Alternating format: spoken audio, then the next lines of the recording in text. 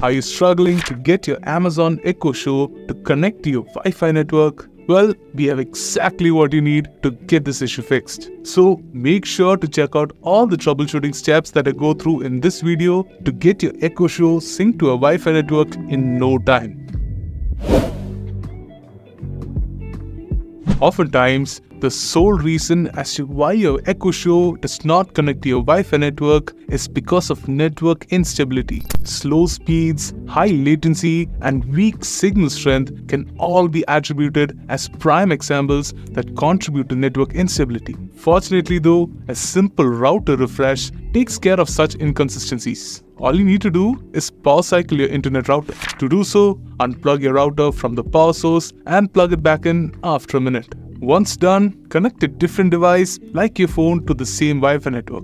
Check out our other videos like this from our channel to see if everything is running fine. If you have no issues with network on your phone, connect your Echo Show to the network again by sliding down on the Quick Actions tab. Select Settings and then Network. Select the Refresh Network to pair it back.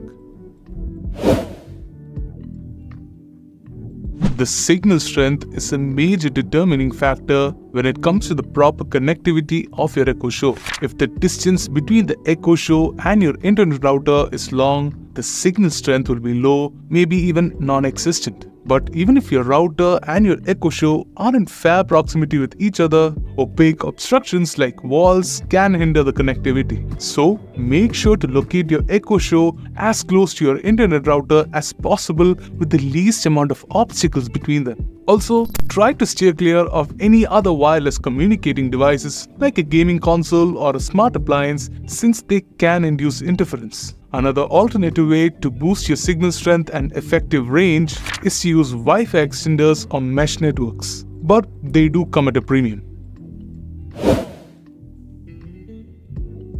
A welcome addition to Echo Show devices is dual band connectivity, meaning it can connect to both a 2.4 GHz and 5 GHz Wi-Fi network. And this very feature might be the way out of your predicament. How, you may ask? Well, if you have problem connecting to a specific Wi-Fi band, say the 2.4 GHz one, just try switching to the 5 GHz band. And considering your router supports dual band connectivity, here's how you can change the network on your Echo Show. Head over to the settings tab and select network.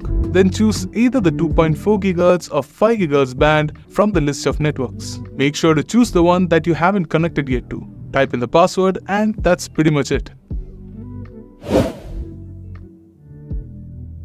Now, if none of the fixes that I've mentioned so far seems to work for you, try factory resetting your Echo Show. In performing a factory reset, all the system configurations and user data gets completely wiped off, essentially giving you a clean slate to start afresh. Gone to are all the bugs and errors that might have been causing the issue in the first place. You can reset your Echo Show by pressing and holding the mute and volume down buttons for about 15 seconds or until the Amazon logo appears.